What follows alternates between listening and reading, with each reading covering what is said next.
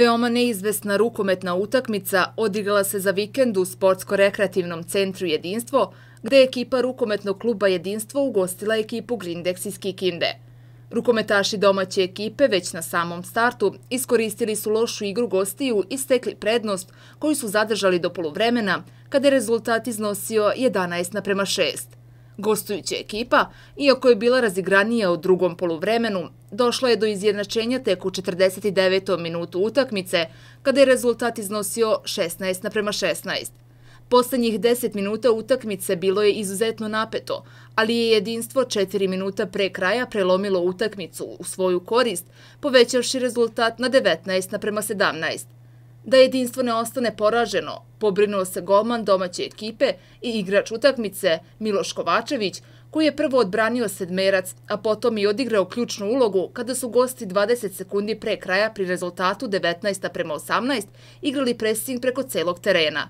Da je utakmica bila veoma napeta, potvrdio nam je i trener domaće ekipe Mihajlo Petković. Ja sam i rekao i pre početka lige da će svaka utakmica da se igra ono što kažu na dve, tri lopte. Tako je bila i ova utakmica.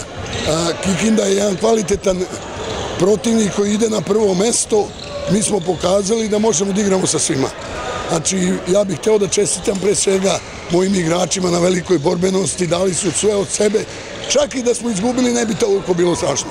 I naravno da pohvalim domaću publiku koja nam je jako, jako puno pomogla kad je najviše trebalo. Ja moram da vas pitam odakle kapljice znoja vi niste igrali? Pa vidite kakva je utakmica i trener je tu koji učestvuje u igri.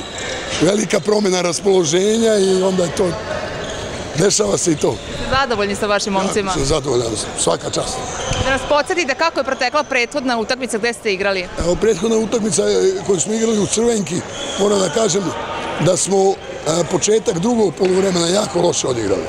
I tu su oni napravili tu razliku i mi do kraja to nismo mogli da stignemo i Na kraju smo izgubili, ali sada se radi, ovdje se ide svaka utakmica, ide s utakmicu po utakmicu.